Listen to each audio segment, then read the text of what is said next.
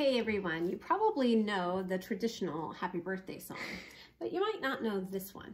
We certainly like it. We thought we'd share it with you.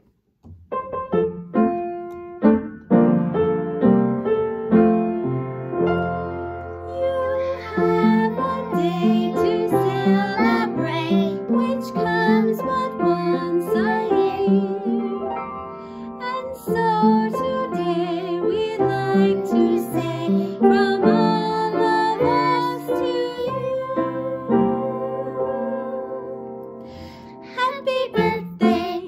Happy birthday. Happy birthday to you.